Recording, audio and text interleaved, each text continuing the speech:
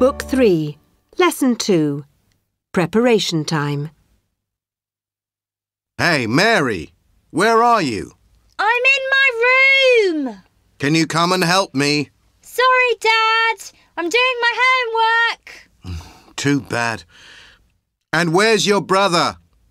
He's playing with John in the back garden. Bob?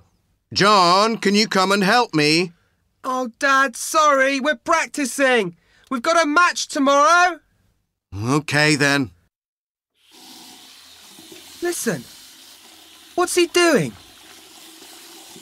He's washing the car. That's fun. Let's help him.